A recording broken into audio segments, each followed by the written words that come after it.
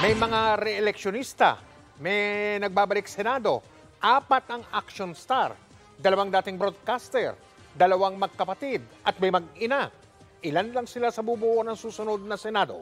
Pero sino-sino kaya magiging magkakalyado? Sino magiging mayorya at minorya? Inaabangan din kung sino ang magiging susunod na presidente ng Senado. Yan ang tinutukan ni Maki Pulido.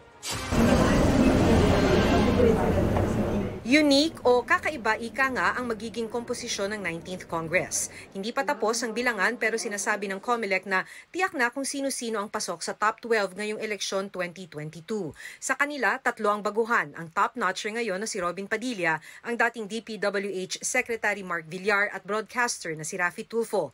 Ang iba naman, kundi mga re-electionist senators, mga returning senators o nagbabalik Senado.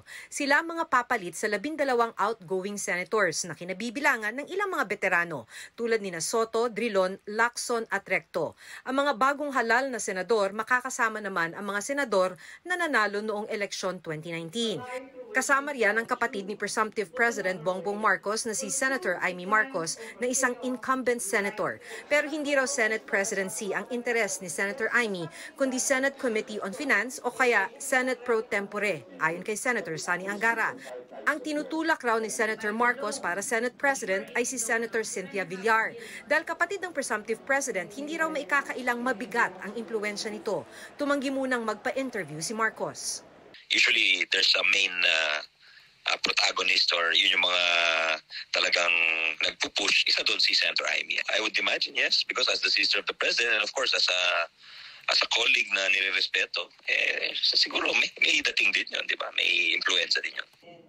Pero hindi kay Villar kundi kay Mig Zubiri pupunta ang boto ni Angara. Sabi niya, ito rin ang boto ng grupo nila sa Senado na kung tawagin nila ay seatmates. Uh, he's very popular among, you know, some of our colleagues. Kami, we have a group called the Seatmates, Senator Nancy Binay, Senator Joel, Senator Grace. So definitely, kami, uh, we, we already promised our support.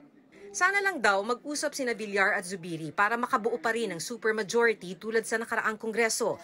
Pero maaga pa raw dahil sa pagbubukas pa ng 19th Congress sa Hulyo ang botohan, kaya di pa masasabi sa ngayon kung sino ang boboto para kanino at kung ano magiging power block sa Senado.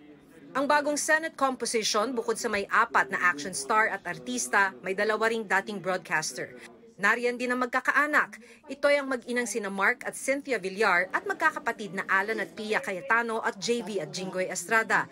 At ang medyo malinaw para kay outgoing Senator Franklin Drilon, iisa ang magiging boto ng mga magkakamag-anak, maliban na lang sa magkapatid na Estrada.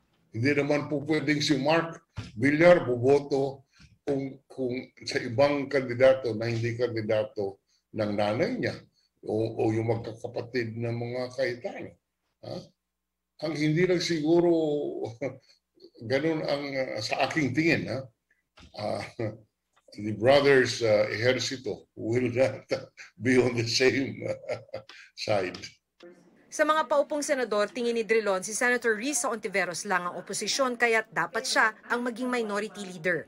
Pero hindi naman sa partido kundi sa kung sino ang ibobotong Senate President magkakaalaman, kung sino ang miyembro ng majority o minority ng Senado. Those who will not vote for the Senate President who will be elected would be considered as part of the minority bloc.